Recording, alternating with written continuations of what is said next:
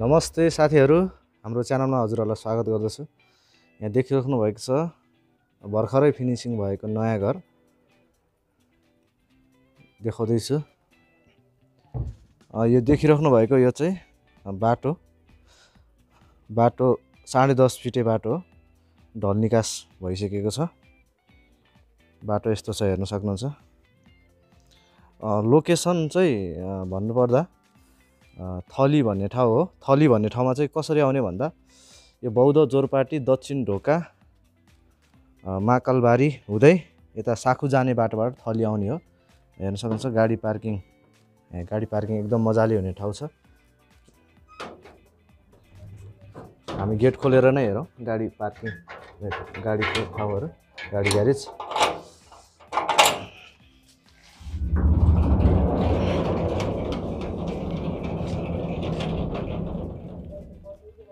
हेर्नुहोस् यस्तो छ है हेर्नुहोस् त मजाले गाडी पार्किङ हुन्छ यहाँनिर। गाडी पार्किङ भएर पनि यहाँ एक्स्ट्रा बाइकहरू राख्ने ठाउँहरू पनि छ। यहाँ गाडी पार्किङ हुन्छ। अनि यतापट्टि यहाँ रिजर्भ ट्याङ्की पनि छ। रिजर्भ ट्याङ्की अनि बाहिरबाट आउने बित्तिकै हात खुट्टा धुनलाई यहाँनिर धारा पनि जडान गरिएको छ। अब हामी घरभित्र प्रवेश गर्दैछौँ।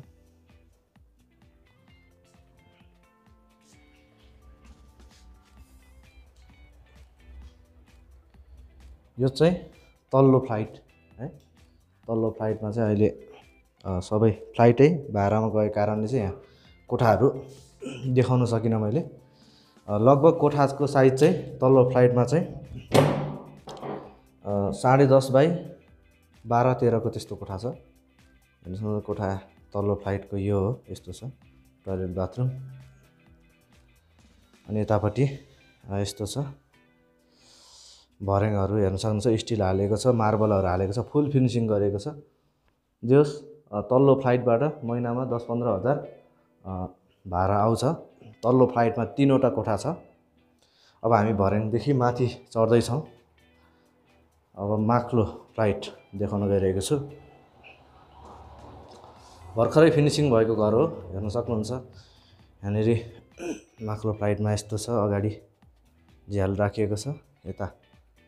यतापट्टि हेऱ्यो भने अब सुरुमै यहाँनिर बाथरुम टोइलेट बाथरुम हेर्न सक्नुहुन्छ है। यहाँनिर यस्तो छ। हातमुख धुने ठाउँ पनि छ।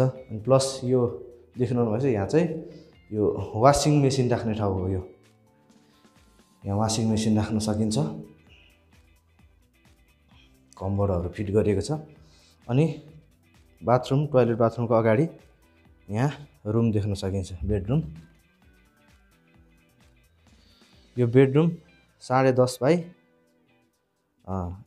एघार फिट साढे एघार फिट जतिको छ बेडरुम हेर्न सक्नुहुन्छ। एकदमै बटम मिलेको छ बेडरुम पनि।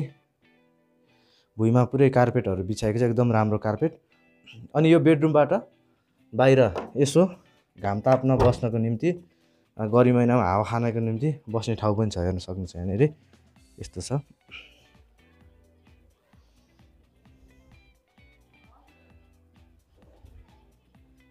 यस्तो छ है अब हामी अर्को बेडरुम हेर्न जाउँ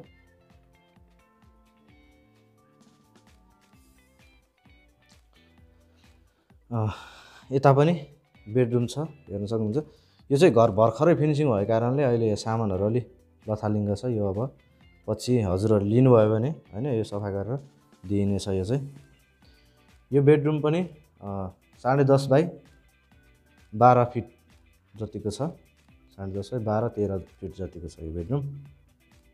यता पनि अर्को बेडरुम छ। यो पनि त्यस्तै साढे दस बाई बाह्र एघार बाह्र फिटे छ यो कोठा। भुइँमा हेर्न सक्नुहुन्छ कार्पेटहरू एकदम राम्रो तरिकाले लगाएको छ। कलरहरू एकदमै राम्रो फिनिसिङ पुटिङ लगाएर फुल फिनिसिङ गरिएको छ। लाइटहरू पनि हेर्न सक्नुहुन्छ एकदम राम्रो राम्रो लाइटहरू हालेको छ। यहाँनिर यस्तो चार्जर गर्ने ठाउँहरू पनि राखिएको छ।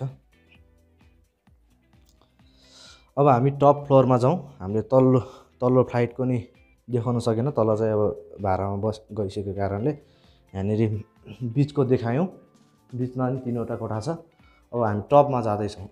हेर्नु सक्नुहुन्छ टी यो बाटो यो भर्याङमा एकदमै राम्रो तरिकाले यो मार्बल लगाएको छ एकदम फिनिसिङ भएको छ। अब हामी टपमा आइपुग्यौँ। यो घर चाहिँ साढे दुई तला है टपमा यस्तो छ। अब यहाँ सिधै हेर्ने भने यहाँ सुरुमा टोइलेट बाथरुम देख्न सकिन्छ हामी टपमा पनि।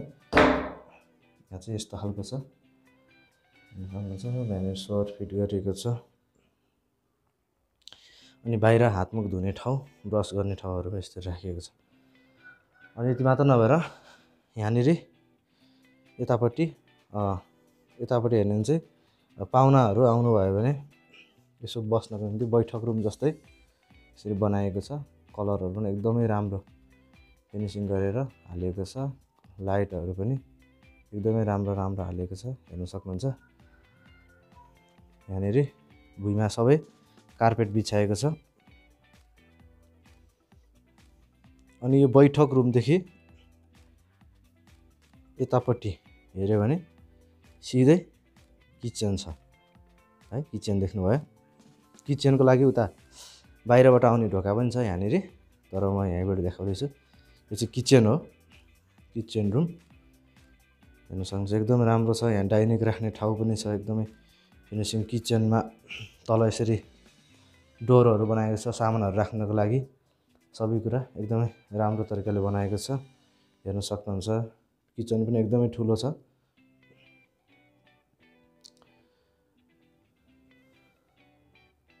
अब हामी हजुरहरूलाई छतको दृश्यहरू देखाउनेछु। छतको भन्दा यता बाहिर बाहिर देखाउँछु पहिला कौसी। सेकेन्ड फ्लोर यस्तो छ हेर्नुहोस् बाहिर बसेर घाम ताप्ने ठाउँहरू। अनि यता हेर्नुभयो भने यहाँनिर पूजा गर्ने पूजा कोठाहरू छ पूजा घर।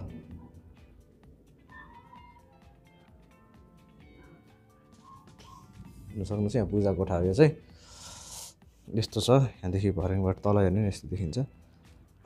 अहिले यो घर चाहिँ पूर्व मोडा फर्किएको घर हो। पूर्वतिर मोडा फर्किएको छ यस्तो छ हेर्नु सक्नुहुन्छ वरिपरि बस्तीहरू। अब हजुरहरूलाई छतबाट देखिने दृश्यहरू छतमा कस्तो ठाउँहरू छ भन्ने कुरो पनि देखाउँछु। इन्टरनेटको राउटर जडान गरेको छ। अब छतमा जाँदैछौँ हामीहरू।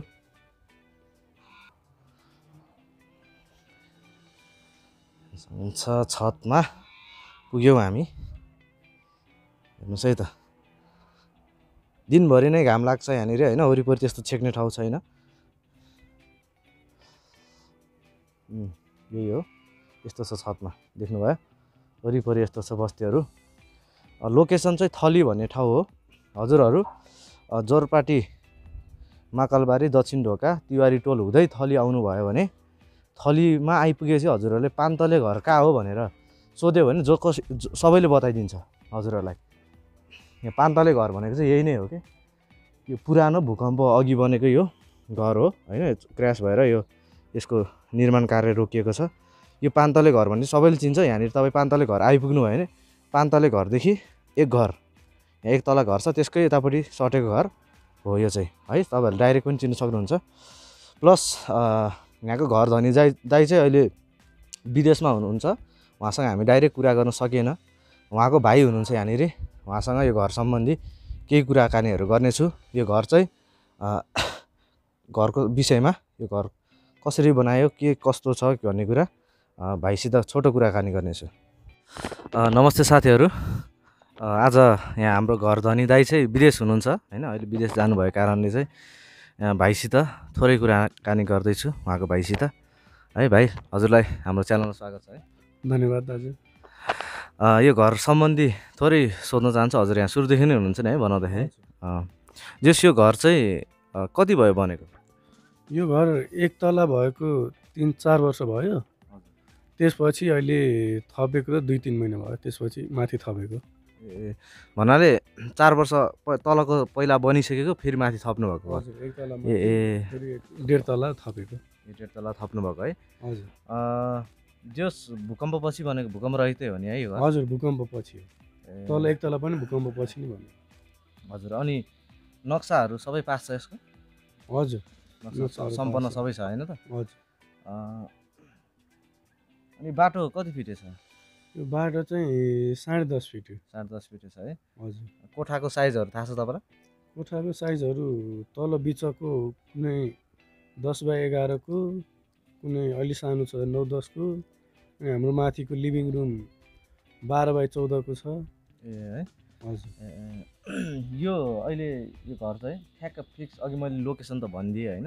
हजुर। लोकेसन हजुरले भनिदिनु न त। लोकेसन भन्दाखेरि हाम्रो थली चौरभन्दा ठ्याक्क पछाडिपट्टि ठ्याक्क पाँच तले घरको छेउमा।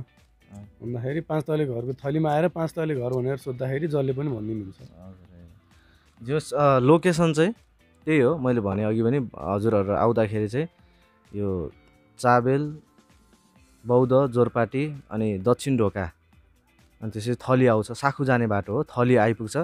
अनि थली आइपुग्नु भयो चाहिँ थली बस पार्कमा आएर हजुरहरूले पान्तले घर कहाँ हो भनेर सोध्नुभयो भने अघि मैले देखाइसकेँ हजुरलाई। त्यो पान्तले घर चाहिँ सबैले देखाइदिन्छ थाहा सबैलाई थाहा छ। अनि त्यहाँ आइसकेपछि तपाईँले यो घर चिन्नुहुन्छ होइन? फोटो दे भिडियो देखिसकेपछि तपाईँले चिन्नुहुन्छ। डाइरेक्ट आएर सम्पर्क गर्न सक्नुहुन्छ। अनि उहाँ दाइलाई चाहिँ हामीले कसरी कन्ट्याक्ट गर्ने त अनि? उहाँलाई इमोमा कन्ट्याक्ट गर्न सकिन्छ। फेसबुक छ राजन लुइटेल। फेसबुकमा त्यो डिस्क्रिप्सनमा। ल। हस् हस्। उहाँ चाहिँ उहाँ दाइलाई चाहिँ हामी फेसबुक मार्फत इमो भाइबर मार्फत भेट गर्न सकिन्छ। मैले भिडियोमा पनि दिनेछु उहाँको नम्बर होइन भाइबर नम्बरहरू। अनि प्लस अनि उहाँको फेसबुकको लिङ्क पनि म डिस्क्रिप्सनमा राखिदिनेछु। हजुरहरूले हेर्नु भएर चेक गर्नु भएर उहाँलाई सम्पर्क गर्न सक्नुहुन्छ। अनि यो घरको मूल्य कति भन्नुभएको छ हजुरलाई दाइले यो घरको दाइले एक करोड असी लाख भन्नुभएको छ। त्यसमा थपघट पनि हुनसक्छ। थप भन अलिक थोरै कम गरिन्छ होइन? ए यहाँ सुनिसक्नुभयो उहाँ दाइसितै हजुर डाइरेक्ट कन्ट्याक्ट गर्न सक्नुहुन्छ होइन? मूल्य चाहिँ उहाँले एक अस्सी होइन? एक करोड अस्सी लाख भनेर राख्नुभएको छ। त्यसमा केही मूल्य घटाउँछु भनेर भन्नुभएको छ होइन? मैले डिस्क्रिप्सनमा नम्बरहरू उहाँको फेसबुकको लिङ्कहरू राखेको छु। हजुरहरू खरिद गर्न चाहनुहुनेले डाइरेक्ट सम्पर्क गर्नु भएर खरिद गर्न सक्नुहुन्छ र हाम्रो च्यानलमा नयाँ हुनुहुन्छ भने हाम्रो च्यानललाई सब्सक्राइब गर्नु भएर बेल आइकनलाई थिचेर हाम्रो च्यानलमा जोडिनु होला।